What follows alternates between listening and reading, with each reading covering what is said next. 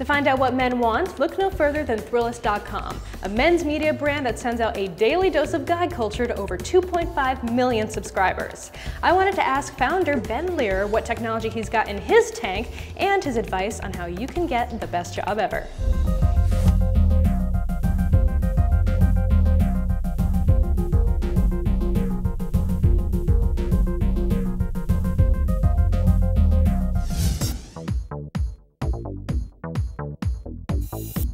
Ben, thank you so much for having us in your offices today. Absolutely, thanks for being here. So tell me about Thrillist.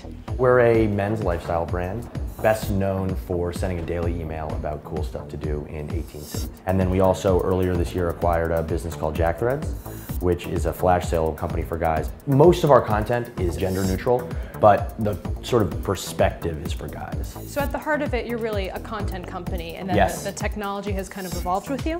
When we got started, we actually existed in spite of technology. We had about a year and a half or two years of operations with no technology in-house, which is shameful and uh, depressing, but over the years we've found ourselves investing really heavily in technology and that's what's allowed us to take the next leap as a business.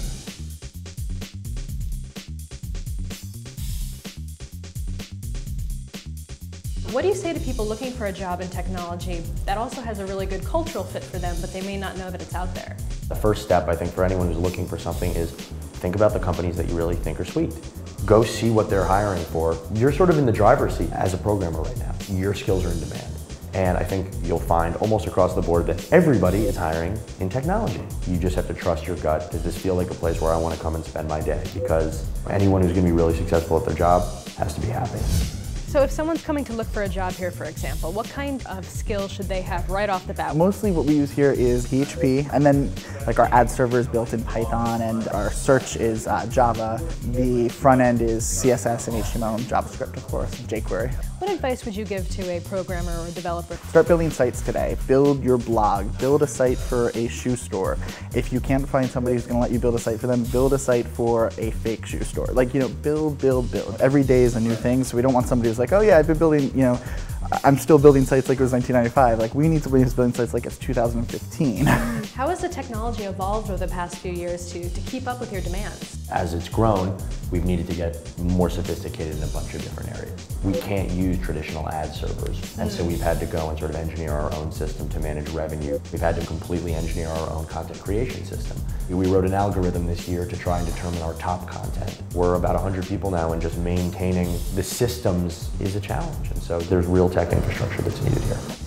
So in your terribly biased opinion, do you have the best job ever? Yes, this is uh, the best job I could have found. You know, the stuff we we put out every day is like stuff that, for the most part, I'm like, oh no, no, I want to go do that this weekend. Very cool. this is my product. I, I get to own a little tiny piece of this.